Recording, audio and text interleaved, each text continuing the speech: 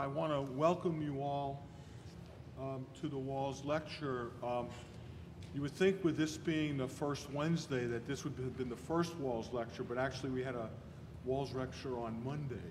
Um, So welcome to the second in the series. Um, Our speaker today, uh, Jeffrey Esko, is Professor of Cellular and Molecular Medicine and co-director of the Glycobiology Research and Training Center at the University of uh, California, San Diego. Am I doing something wrong? You are approaching me rapidly. Okay. And uh, it's still Dr. Jeffrey Esko who is going to be giving the talk. Um, this talk actually is almost two years in the making. Uh, from the time of the original invitation, the cancellation last year because of a hurricane, and of course today is the hottest day of the year, Jeff. So I don't know if we're trying to tell you something, but um, Dr. Esko received his PhD in biochemistry uh, from the University of Wisconsin in Madison, uh, following an independent fellowship at the Molecular Biology Institute at UCLA. He moved to UAB um, and then subsequently to the Department of Cellular and Molecular Medicine at UC San Diego.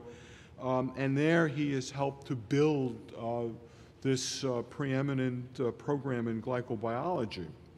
Uh, work in his own lab, as I'm sure many of you know, uh, focuses on the structure, biosynthesis, and functions of proteoglycans. Uh, he has been a prolific scholar, publishing over 250 papers, reviews, and book chapters. Now, most of you probably know him as one of the editors and authors of the Essentials of Glycobiology text. This has really become the definitive textbook of, of glycobiology, and it's the thing that introduces uh, graduate students and medical students to, to the field. Um, he's past president of the Society for Glycobiology, and in his spare time, he helped co-found Zacharon Pharmaceuticals Incorporated. Um, his work has been recognized by the Karl Meyer Award, which is the highest honor uh, that the Society for Glycobiology uh, presents, and the IGO Award from the International Glycoconjugate Organization. He is a merit awardee from NIH, uh, has some honorary degrees, and recently was elected as a fellow of uh, the AAAS. Um, so, to me, most importantly, uh, Jeff is known as a superb mentor. Um, he really has been intimately involved in the training of his students and postdocs, and he really maintains a connection with them even after they leave the nest, so to speak. And I've, I've been the direct beneficiary of this, so thank you, Jeff. Uh, Tim Fritz, who did his PhD with Jeff, was a staff scientist in my group uh, for a number of very productive years uh, before uh, moving on to a, a, more permanent position at the FDA. Um, I also ha uh, have it under very high authority that you, at least at one time in your life, made a mean deep dish pizza. Um, at the uh, reception following this, you should all question Jeff ab about that. Um, his, his lecture today entitled Proteoglycans, Arbiters of Lipoprotein Metabolism will illuminate aspects of lipoprotein metabolism, structural functions underlying uh, uh, proteoglycan uh, biofunction, the role of syndecan-1 as a clearance receptor, and of course the general involvement of proteoglycans in atherosclerosis. Please join me in welcoming Dr. Jeff Esko.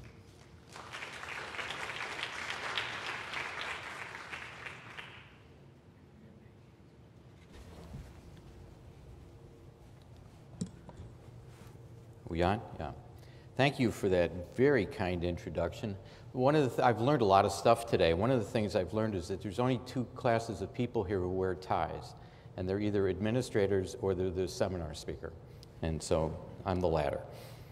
Um, so the work I'm going to tell you about today was actually started a few years ago, and uh, there's been a number of students and postdoctoral fellows that have been involved in this. And I just want to quickly introduce them.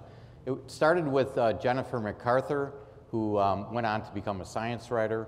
Rusty Bishop, who was a postdoc, um, is now a vice president of a company that he founded called Red Funnel. Yiping Dang, Kristen, Aaron, and John, all graduate students.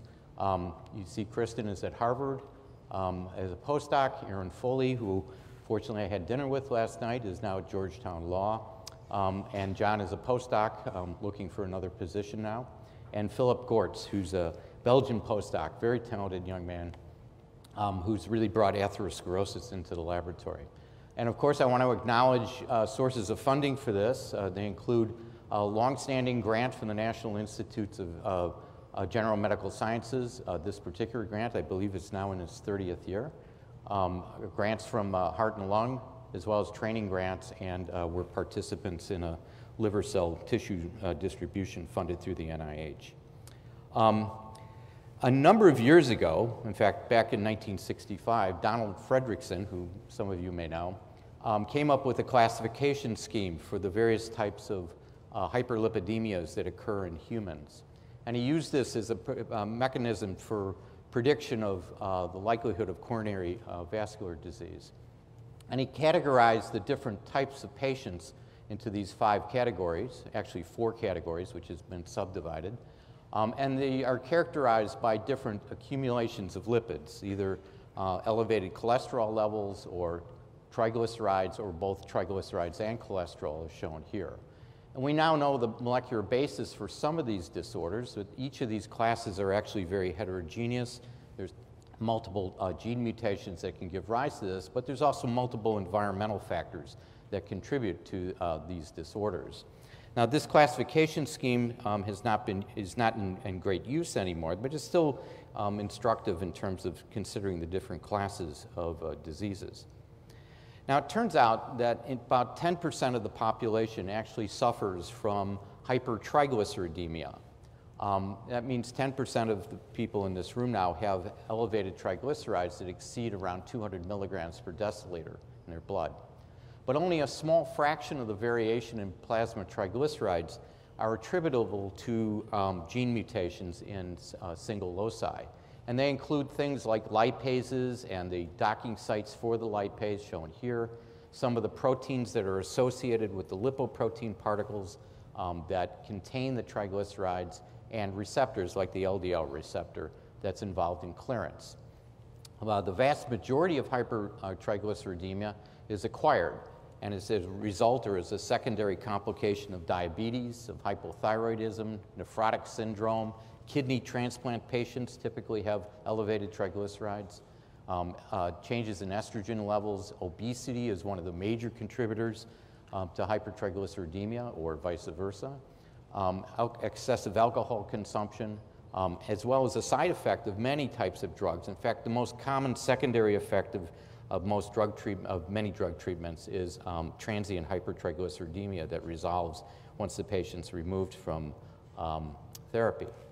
What's not clear is what the molecular basis is for these acquired forms of hypertriglyceridemia.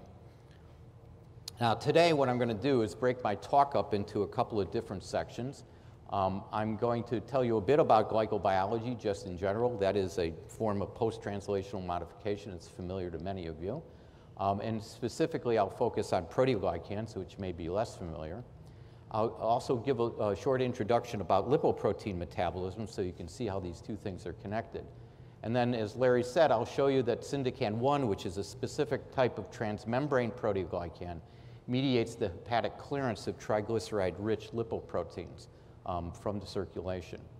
And I'll show you that the binding depends on specific proteins on those particles called ApoE and ApoA5. And I'll show you that, in fact, clearance through this receptor is atheroprotective. And then with the remaining time, I'm going to just give you kind of a view of a couple other proteoglycans that we've described now um, that are involved in um, regulating either atherosclerosis or, or preventing it or um, changing uh, the way that lipoproteins are handled. Now, all cells are covered with a thick, thick layer called the glycocalyx, and it's shown here is an electron micrograph of a cell of a lymphocyte that's been stained with ruthenium. And you can see that this layer surrounds the entire plasma membrane. And to give you an idea of the dimensions here, this is about 50 nanometers thick, or about 10 times the thickness of the underlying plasma membrane. All cells are covered with a glycocalyx. In fact, all cells in biology in nature are covered with a glycocalyx. I know of no cell that can't make, that doesn't make a glycocalyx of some type. And in fact, gene knockouts of various um, steps involved in the assembly of these things are generally incompatible with life. Um, these glycocalyxes can be found in endothelial cells and, uh, as I said, all other cells. And in fa fact, in some cases, it can be extremely thick. And here, this is a particular fixation method where it kind of pulls the strands of the, of the polysaccharides out from the surface of the cell. Um, the actual endothelial cell layer is shown here, and so you can see the glycocalyx is actually thicker than the cell itself. Now, various artists have rendered the glycocalyx in different forms. Here's a picture of a red blood cell that was um, drawn back in 1985. And the glycoproteins and glycolipids are shown embedded in the plasma membrane of the cell. And these extended green structures are supposed to be the sugar chains that come up from those um, uh, macromolecules. The tips are decorated here to indicate sialic acid residues uh, on the ends of these chains. Uh, this cover of Science magazine that came out in 2001, uh, the artist um, uh, took the liberty of rendering these chains in, in the following ways, uh, as though these represented individual atoms of the carbohydrates. Now, if you were to fly over a cell at, let's say, 20,000 feet, what you would see is that the glycocalyx really kind of looks like a forest canopy or a kelp bed, for example where uh, the oligosaccharides might be these branches extending up from the proteins and glycolipids that are down at the base here, embedded in the earth. Um, and these uh, green things are the terminal sugars um, on the various types of glycans. If you take a closer look at the glycocalyx, what you find is that it's actually composed of numerous types of glycoconjugates. And many of these are familiar to you. They include glycoproteins, which typically contain uh, branched oligosaccharide chains that are attached to asparagine residues. But of course, there are other types of glycans, like the ones that Larry and, and Kelly work on, and which are attached to serine and threonine residues within the core protein. Now, we use a symbol nomenclature to represent the individual sugars, because if I drew these out in their chemical structures, they would obscure some of the complexity that exists here um, and the information content. And this color coding geometric symbols are shown here. And the only thing that's important for this discussion is to realize that the different colors and the different symbols represent chemical structures that distribute functionalities and chemical functionalities in space. And what's happened is that um, through evolution, a number of proteins have evolved that can dock with these um, structures, often in very specific uh, ways with specific arrangements of the sugar residues. There are also glycosphingolipids. These contain short, sometimes branched oligosaccharides that are attached to lipids that are just in the outer leaflet of the membrane and don't span the membrane. And there's glycosyl phosphatidylinositol linked proteins that contain a short glycan as a linker between the lipid moiety and the protein itself, as shown here. About 85% of all the of all the proteins that are secreted by cells or that are present on the cell surface are estimated to contain this post type of post-translational modification. Now shown center stage here are the proteoglycans, and the proteoglycans have characteristic carbohydrate chains called glycosaminoglycans, or GAGs for short. And these GAG chains consist of repeat structures um, that are based on two sugars called N-acetylglucosamine and glucuronic acid, and they repeat many times. And this underestimates the length of these chains. These things can be 200 sugar residues long. You'll notice too that they're um, decorated with sulfate groups indicated by the S, and I'll come back to that in a moment because that's to a large extent the business end of, of these chains. All these molecules are synthesized in the ER Golgi system and secreted from the cell. The exception to that is, one of the exceptions is a polymer called hyaluronan or hyaluronic acid. This is actually made at the plasma membrane by a synthase, or there's a small family of synthases that can do this. And as the polymer is being extended, it extrudes from the cell like squeezing toothpaste out of a tube. These polymers can be extremely long. They can be 10,000 sugar residues long. And they are heavily hydrated, and they form the hydrated part of the hydrated matrix um, that surrounds cells. Um, although we normally talk about most glycosylation this way, most of you know that in fact um, a number of nuclear and cytoplasmic proteins can under, undergo uh, the addition of a single sugar residue to serine or threonine residues. John Hanover obviously works on this in Jerry Hart's group. Um, this is probably the most prominent form of glycosylation in terms of the number of proteins that can undergo this type of modification. Um, but it's in fact received the least attention, at least until um, uh, the, the last decade or so. So these are the various players here, and what I'm going to concentrate on are just the proteoglycans. There are two major types of GAG chains that are found. There are the heparan sulfate chains and chondroitin sulfate. There's a derivative of this called dermatan, which I'm not going to talk about. And heparan sulfate is related in structure to heparin, the anticoagulant. In fact, heparin is a fractionated form of heparan sulfate that has certain properties that um, make it an excellent uh, antithrombotic agent. Now, it turns out that there's not that large of a family of heparan sulfate proteoglycans. So it's very different than glycoproteins, where there are literally hundreds and hundreds of glycoproteins. There's probably less than 20 heparan sulfate proteoglycans. Some of these are transmembrane uh, proteoglycans, and they include uh, four members of the syndecan family, uh, a splice form of CD44, CD47, beta glycan, and neuropilin 1. And all of these have either single transmembrane passes or, in the case of CD47, as I learned today, is a polytopic protein that can span the membrane several times. Um, there are six members of the glypican family. These are linked to the outer surface of the cell by way of a GPI anchor. And then there's four members that are secreted, and these are the matrix proteoglycans called perlecan, agrin, collagen 18, and serglycin, which is actually found in the granules of hematopoietic cells but can be secreted by cells, by different cells um, under appropriate stimulation.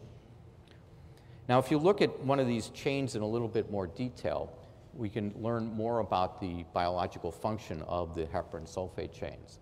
These chains are always assembled on a core protein, and the formation of these things is catalyzed by a series of glycosyltransferases that add single sugar residues one at a time going from this end of the polymer to this end of the polymer.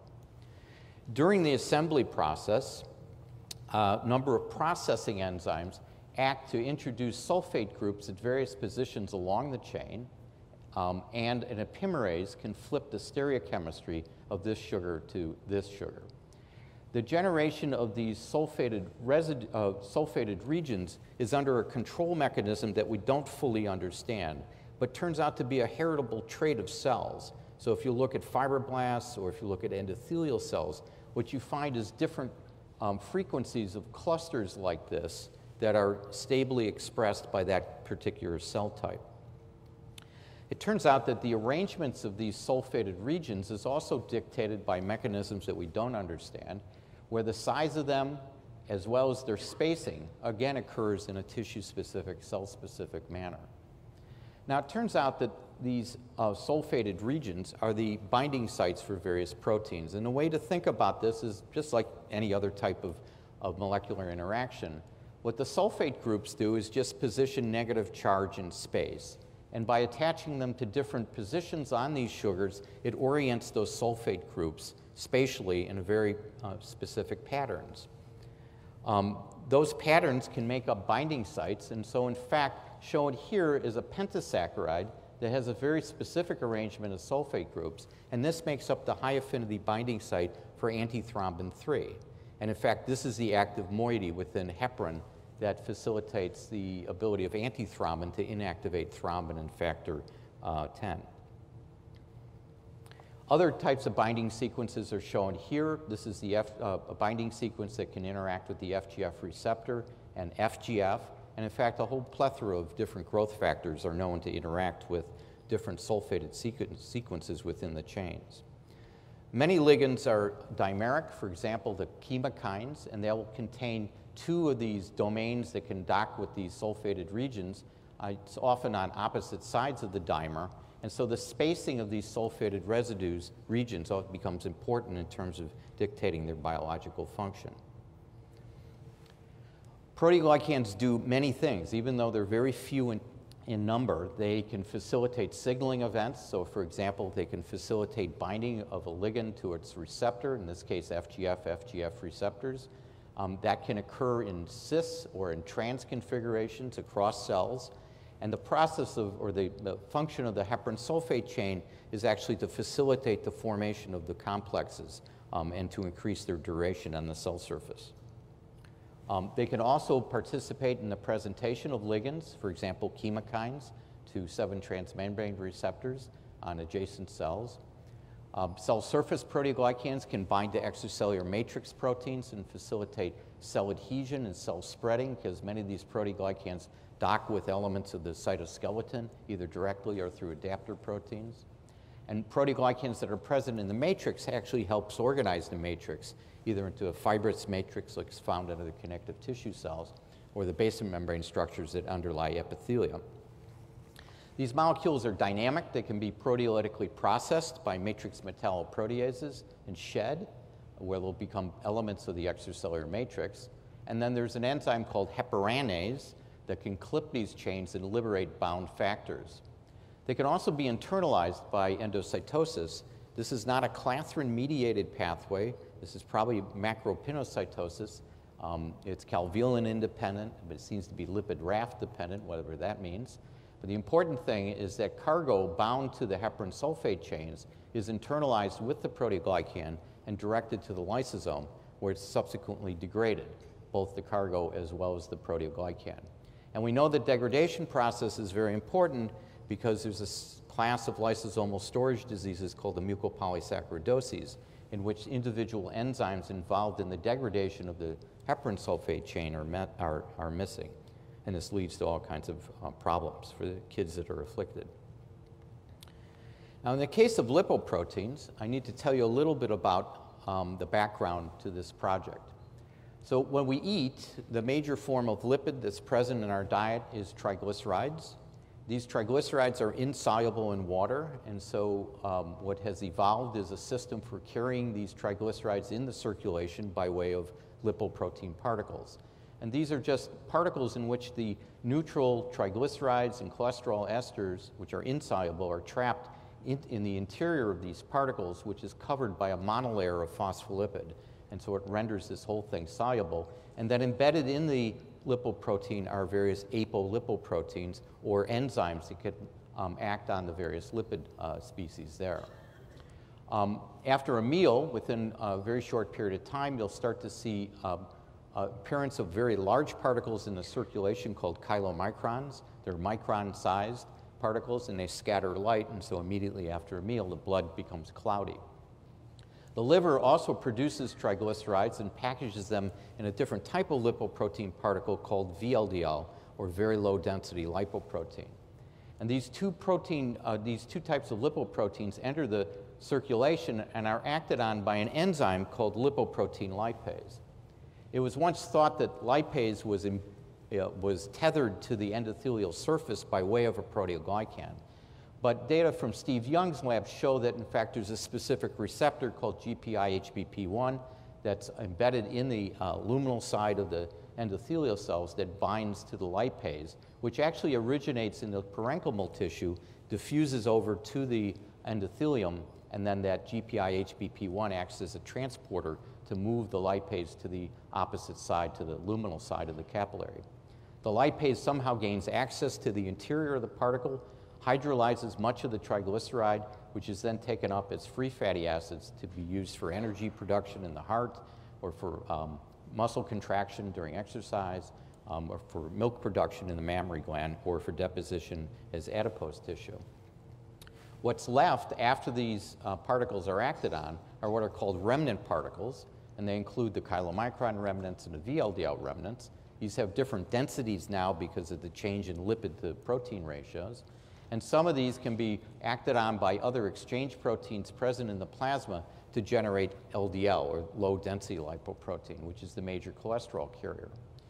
These particles, and at least half of the LDL particles that are generated, are all cleared in the liver by way of receptor systems.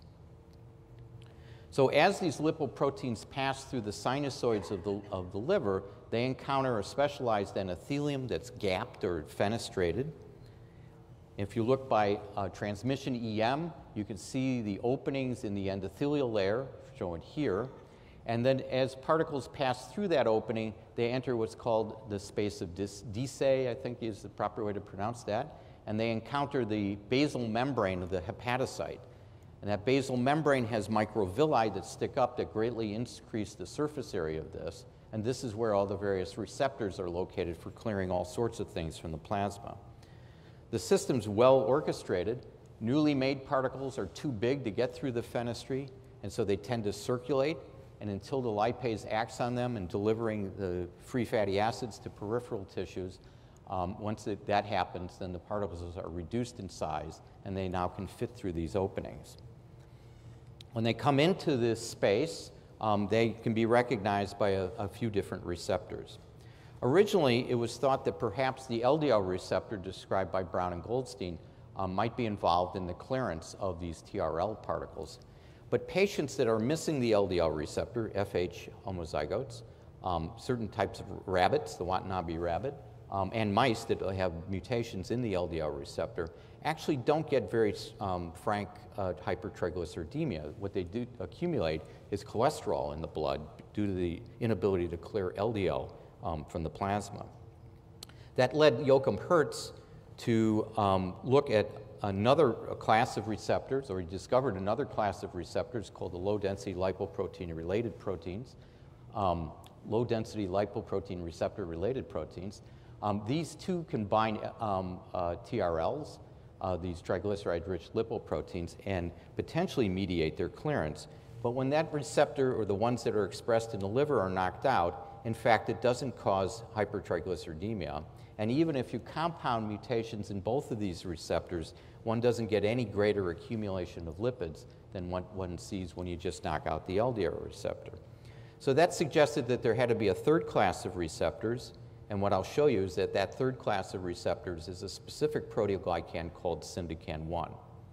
Now, there was already hints that, in fact, proteoglycans were involved in this system when we started our work. It was known that a number of proteins involved in lipid metabolism, ApoE, ApoB, the, two of the lipases, lipoprotein lipase and hepatic lipase, all can bind to heparin. Uh, wasn't clear it binds to heparan sulfate, but it binds to heparin.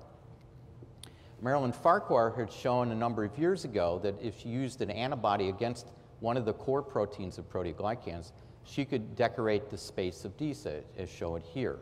And here's a blow up here, and you can see that in fact it's lighting up right around the, um, uh, the microvilli.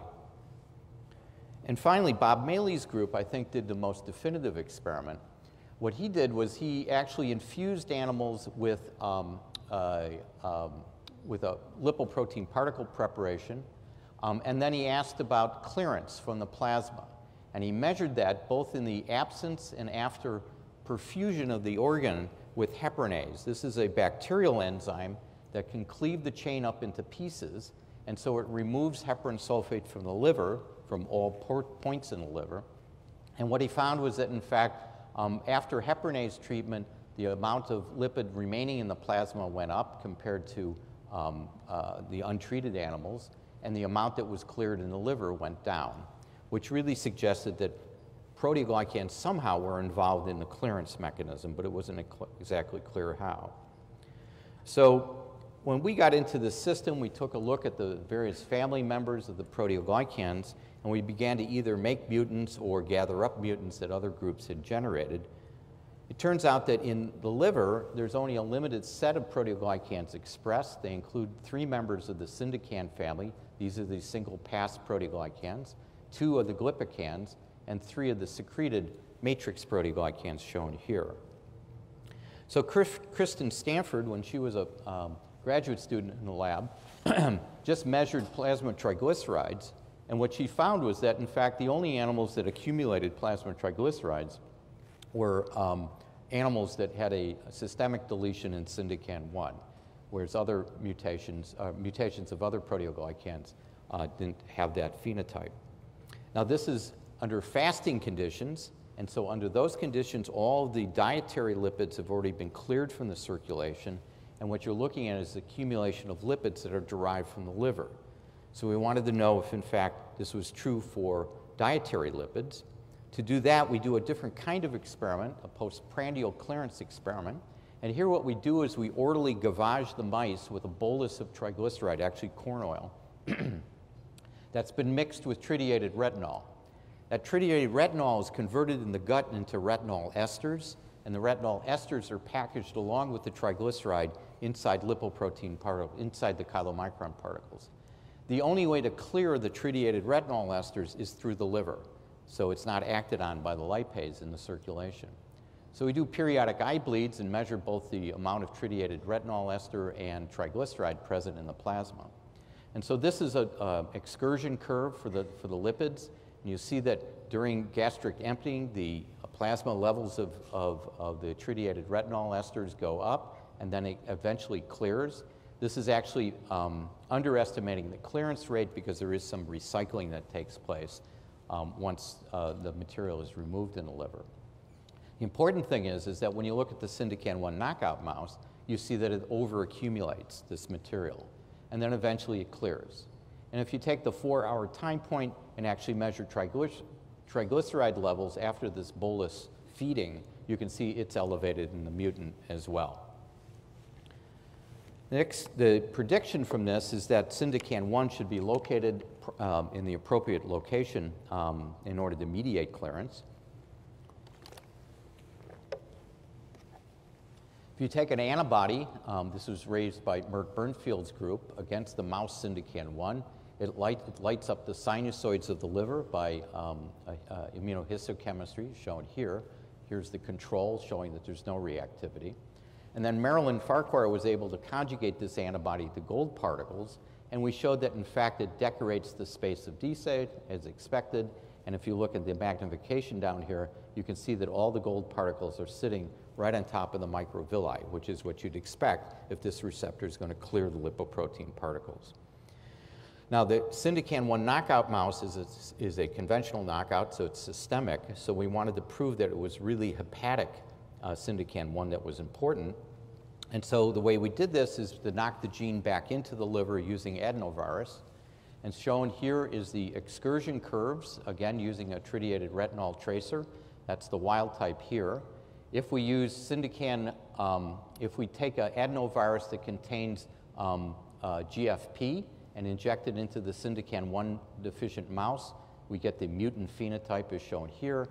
But if we use an adenovirus that contains full-length Syndican-1, you can see we restored clearance to normal levels. So that told us that it was hepatic Syndican-1 that was important in this system. Now, Syndican-1 is a very interesting proteoglycan.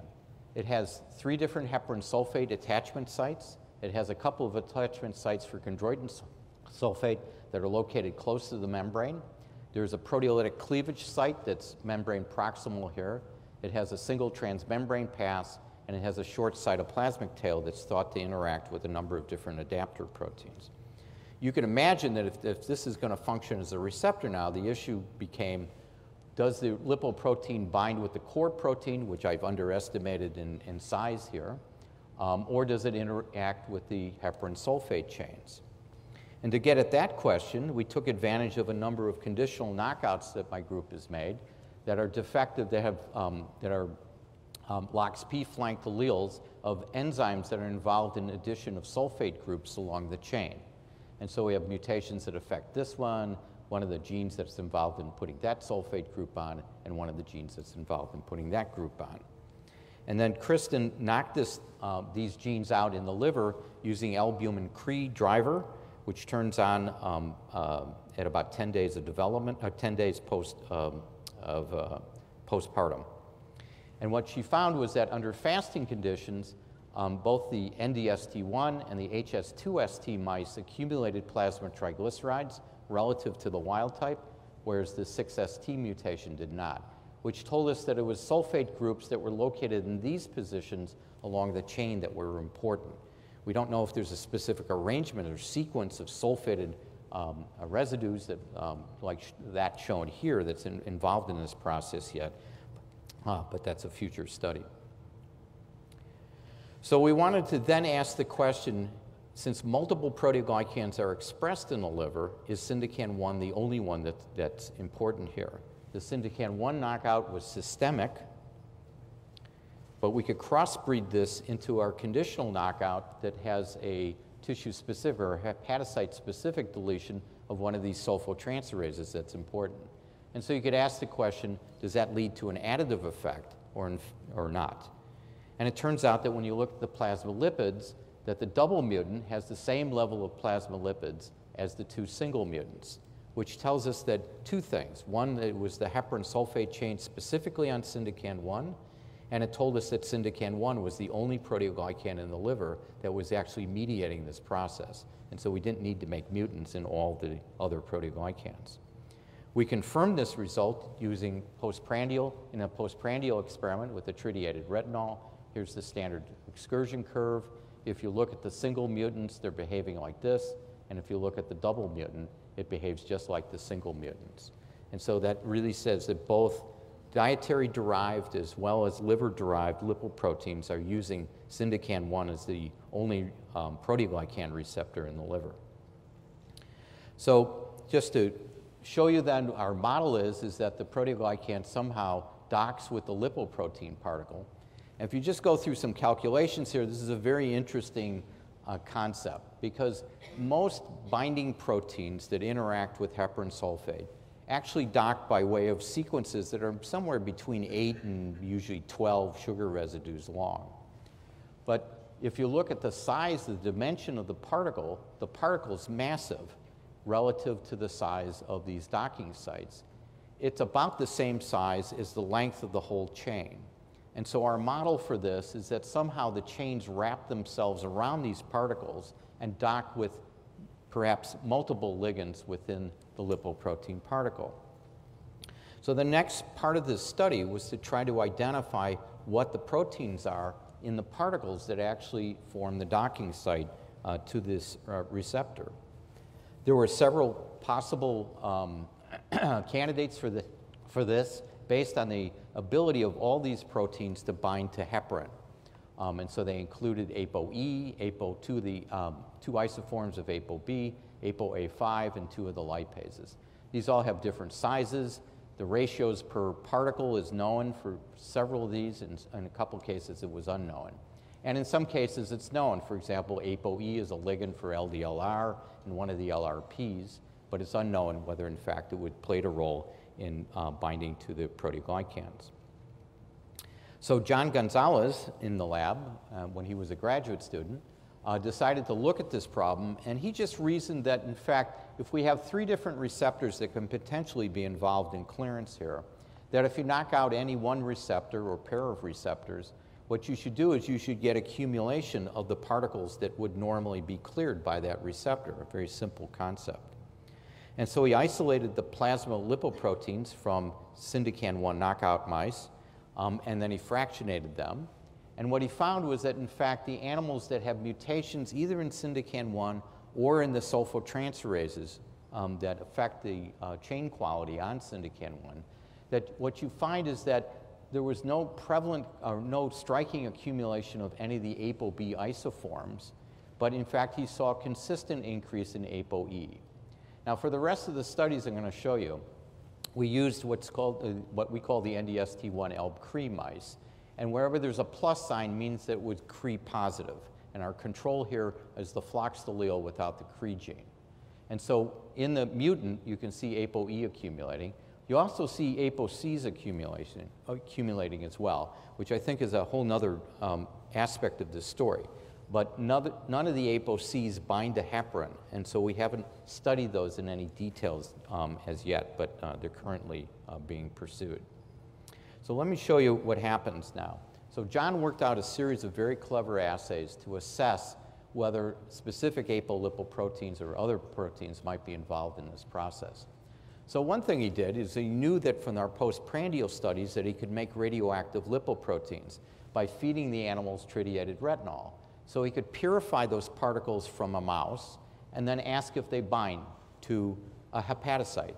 And in this case, he used HEP3B, which is a human hepatoma line that expresses high levels of syndecan1. And what he found was that he got robust binding to the cell surface.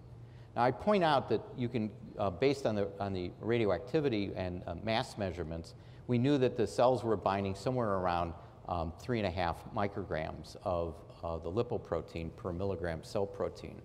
And if we translate that based on, on size of the particles and densities of things, it turns out that that translates to about 2 million receptors per cell.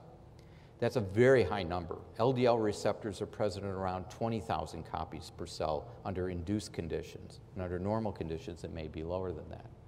So these are very abundant receptors present on the, lipo, on the hepatocyte surface.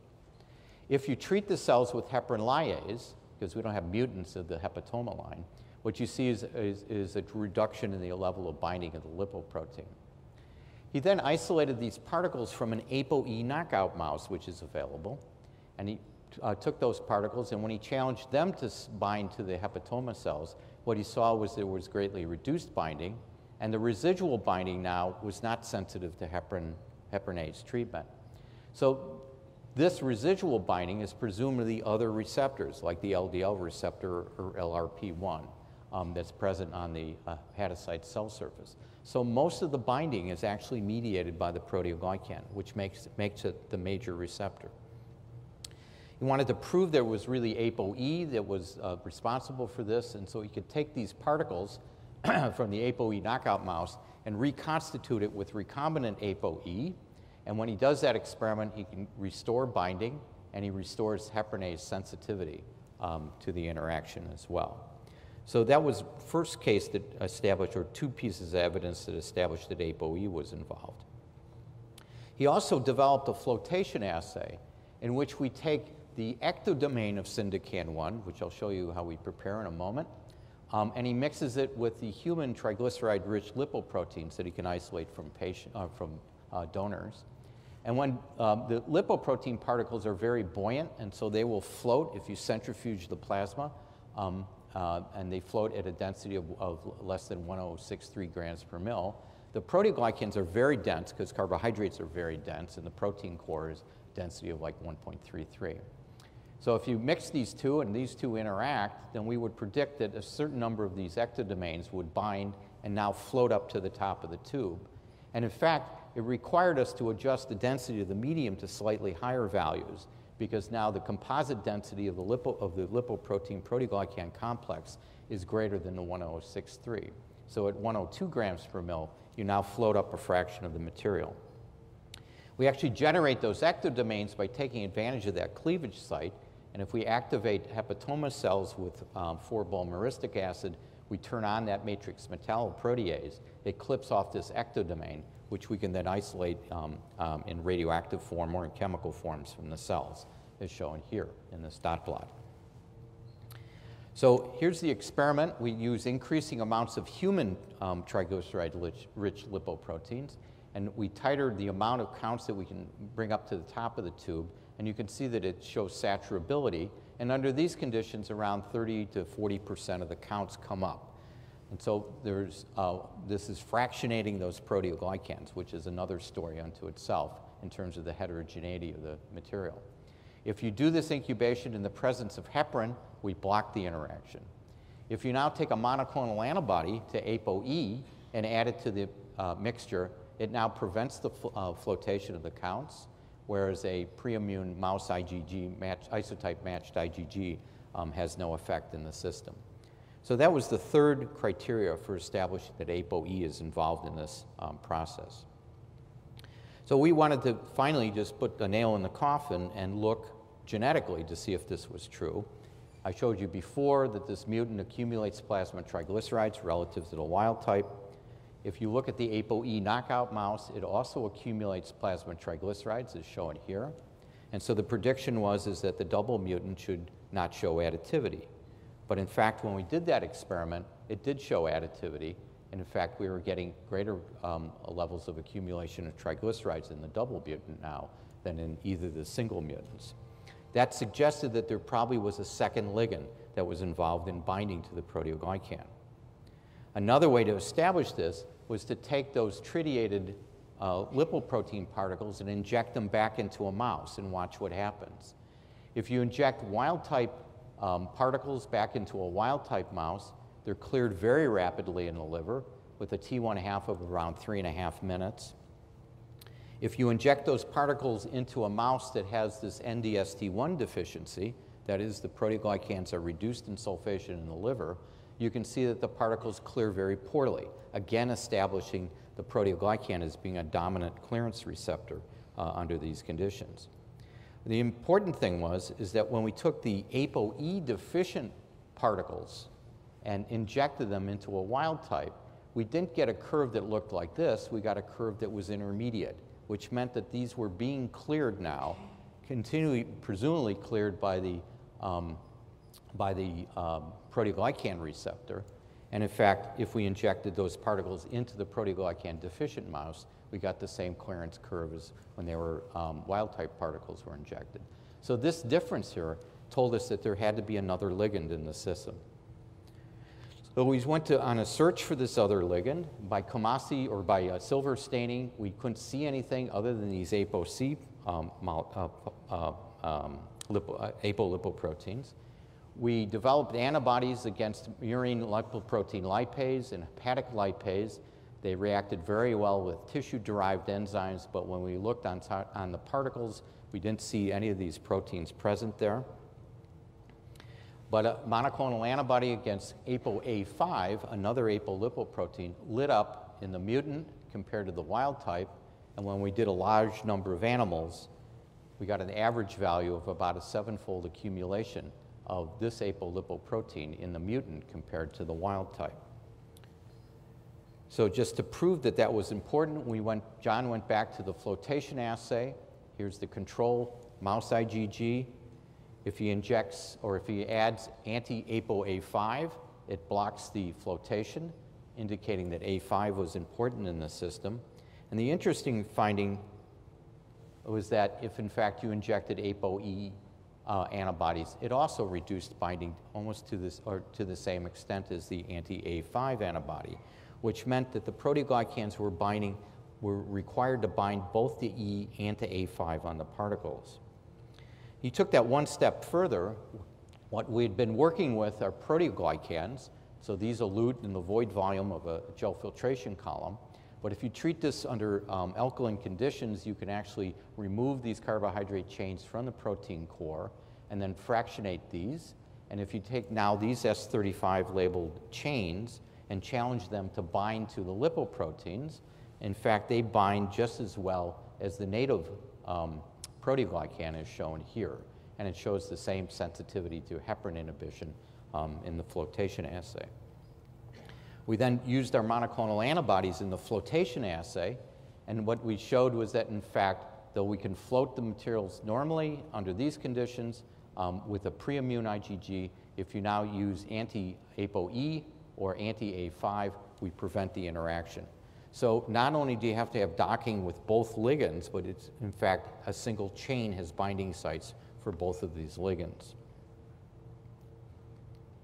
So what I've shown you is that hepatocyte syndecan-1 proteoglycan is a major remnant lipoprotein receptor in mice. The heparan sulfate chains make up the lipoprotein binding site based on our genetic analysis, and that docking depends on multivalent interactions with ApoE and ApoA5. We can't do the genetic experiment with A A5 knockout mice because A5 is also involved in the lipolysis of the particles in the peripheral circulation. And so it gives you a confusing result. So I think to come back to what I started with, I told you that um, uh, hypertriglyceridemia is a very common uh, ailment, and these studies raise the possibility that alterations of syndecan-1 or heparan sulfate formation could contribute to hypertriglyceridemia. Um, a number of studies show that, in fact, hypertriglyceridemia is an independent risk factor for coronary artery disease as well. And so what I want to conclude with now is our studies are, are a, a, couple of other studies that indicate the importance of the proteoglycans, um, of other proteoglycans in the system. Um, in atherosclerosis um, is a process in which lipoproteins become deposited in the intimal layer of the arteries, um, and then um, that causes an inflammatory response and you get macrophage infiltration um, into the tissues these macrophages eat the deposited lipoprotein particles and convert into foam cells, which eventually will form a, like a lipid gruel that forms the um, core of the atherosclerotic plaque. This can rupture leading to um, thrombotic effects in the circulation. We're in a great position now to ask, using our mutant mice, whether in fact clearance of triglyceride through the um, syndecan receptors might be important in this process. And so Philip Gortz in the lab uh, took these animals and he had to place them on an ApoE deficient background in order to induce atherosclerosis because mice don't develop atherosclerosis spontaneously. Um, these animals, now if you take the aortas out and cut them longitudinally and open them up and then stain with oil red O, you can see that in fact the mutant that lacks uh, the sulfotransferase accumulates lots of oil red O positive plaques.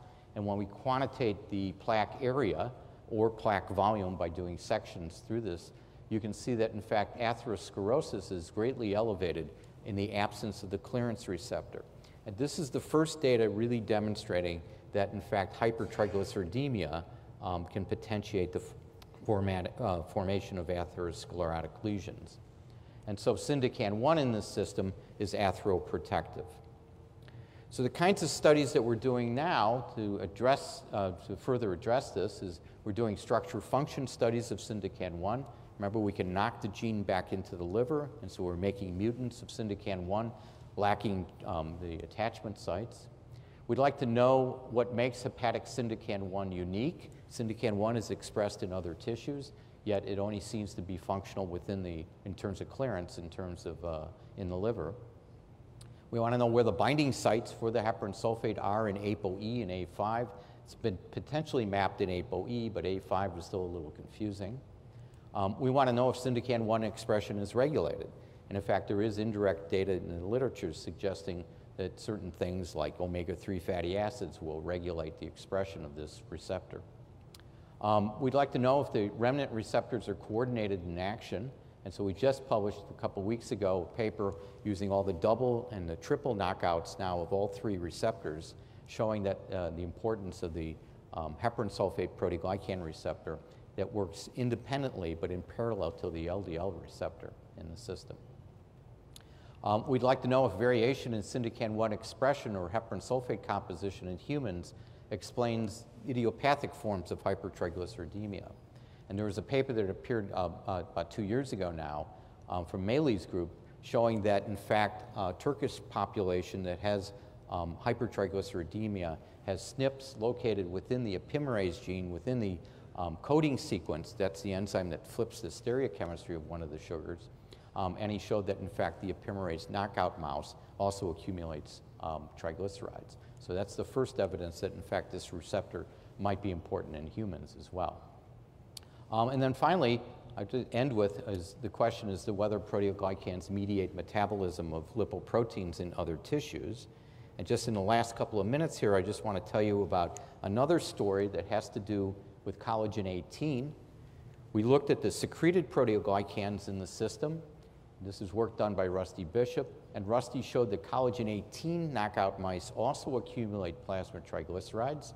We uh, have conditional knockouts in perlecan and agrin. These do not accumulate plasma lipids. Turns out there's a human uh, uh, syndrome called Knobloch syndrome, in which there are mutations in the human type collagen 18 gene, and there's a consanguineous family that was identified in Brazil with a defect in a 3 prime splice site of intron 1. Um, and it turns out that um, that generates a splice form, uh, a short form that's um, um present in epithelial and endothelial basement membranes, and patients lack that. But they still make the long form, which is expressed prominently in the liver. So the fact that these animals, that the animals accumulate plasma triglycerides suggested the possibility that perhaps these patients might as well. And so uh, I sent Rusty down to Brazil. He met up with our collaborator, Rita Passo Bueno. Um, and Rita and Rusty got in a car and drove about three hours into the back, backlands of Brazil to meet up with this family who were um, very obliging and allowed us and um, fasted and then allowed us to do blood draws on all the uh, family members. Some of these are heterozygotes, some are homozygotes, and some of them are, are wild type. That's Rusty shown there. And when we measured their plasma triglycerides, we saw that they were elevated in the homozygous nulls, but not in the heterozygotes or in the wild type. This is, um, and as large of an N as we can possibly get in this system. And you can see the phenotype is the same as in the mouse. And it turns out that the deficiency, um, oh, I want to point out that because these um, uh, patients have the normal um, splice form of collagen 18 in the liver, that the defect has to be extrahepatic. That causes this hyperlipidemia. And we tracked it down to a deficiency in the lipoprotein lipase that's available in the plasma compartment for hydrolyzing the plasma lipids in the system. Um, this is an experiment in which we injected animals with heparin. Heparin releases the endogenous stores. They make normal amounts of the enzyme. They just can't put it out into the lumen of the um, vasculature. Um, and it turns out that when you look in the no block patients, they also have reduced levels of plasma lipoprotein lipase. And so this is an example now of another proteoglycan. This one's located in basement membranes that are surrounding the vasculature, and that the enzyme, which is made in the parenchymal tissue, somehow uses this proteoglycan uh, in order to get out to the cell surface. Uh, we know that the GPI-HBP1 receptor is involved in that process, and we're currently trying to figure out how the proteoglycan collaborates with that receptor uh, to mediate the transfer.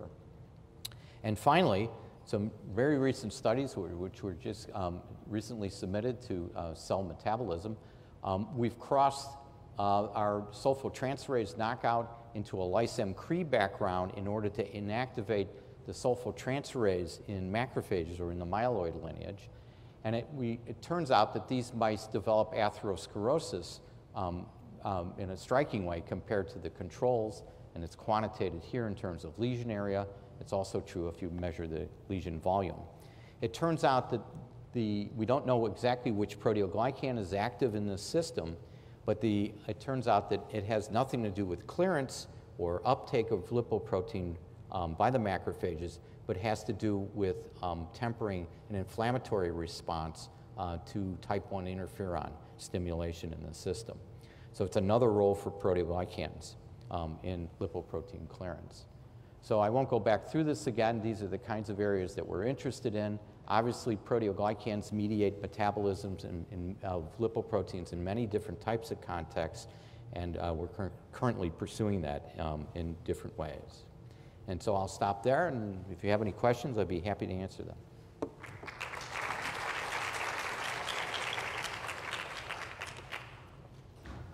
Okay, so we have time for questions. If you can use the mic so that the people who are on the webcast can hear.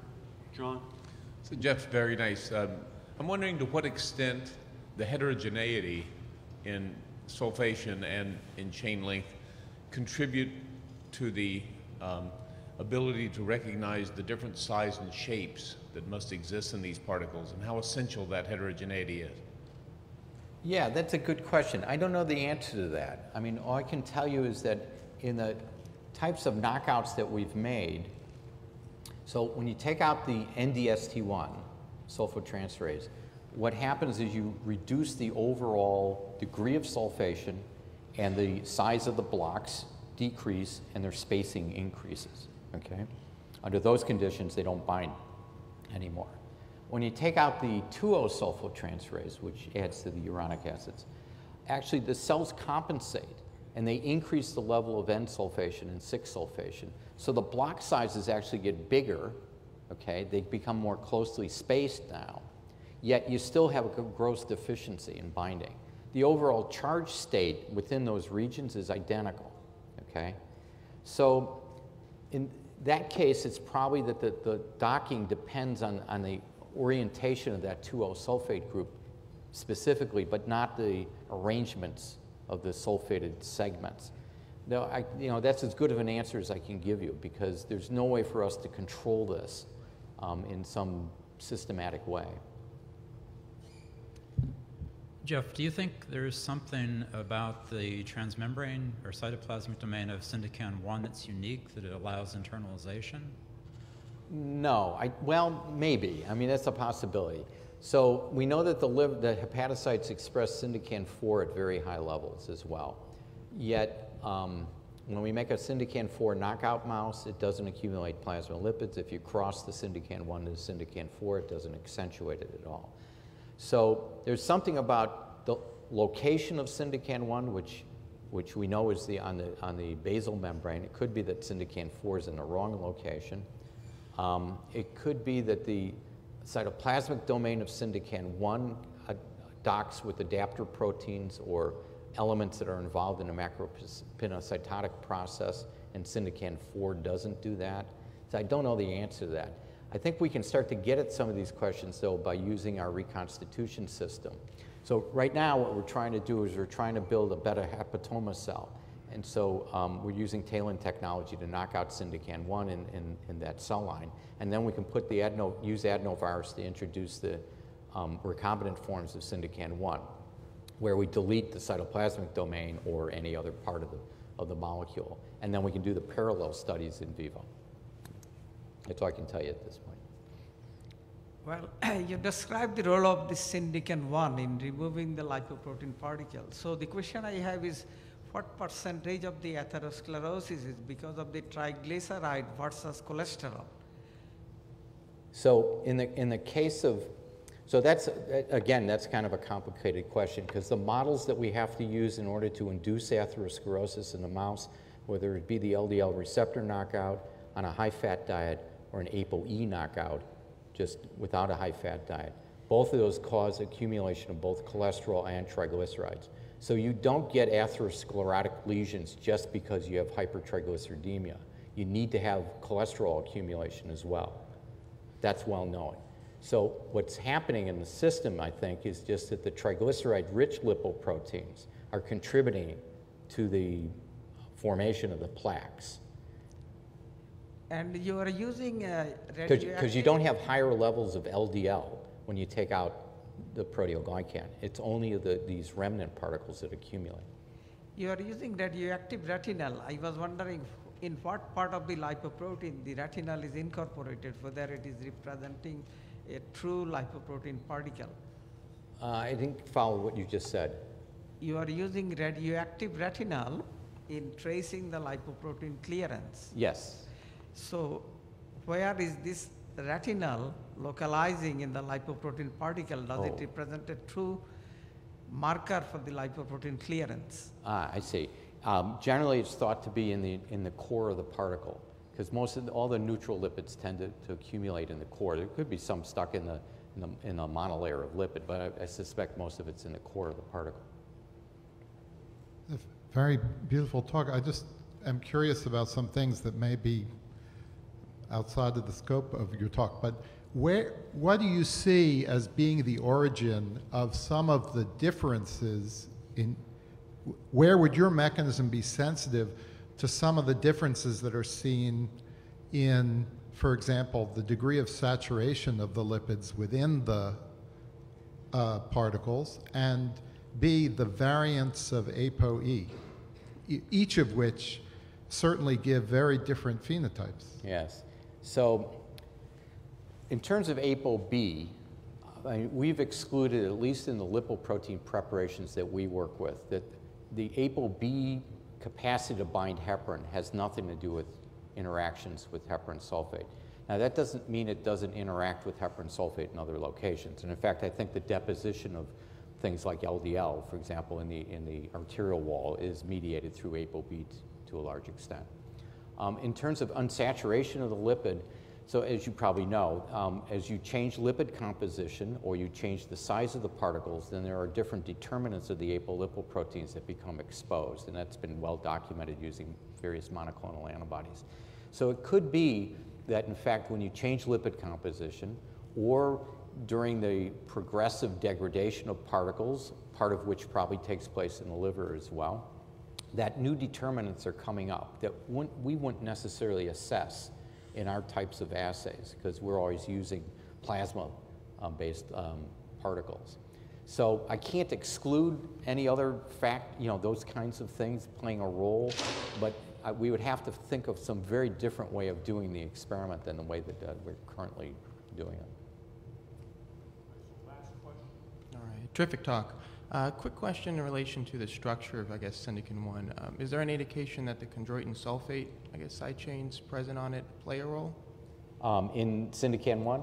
Yeah, so we don't know that. So we have now a conditional knockout in, in the sulfotransferase that puts the sulfate groups on the four position, the chondroitin sulfate chains. And so we can ask that question in the liver. We haven't done it yet though. But I think the other way to do it is to use the adenoviral system, make mutations in those two attachment sites where the chondroitin cha- chains are, then knock them back into a hepatoma line or knock it back into the liver. And then we can get at that question. Okay, well, uh, please uh, join us uh, at the reception, which follows in the usual place, uh, organized by FES, and join me in thanking uh, Dr. Esko for a very lovely talk.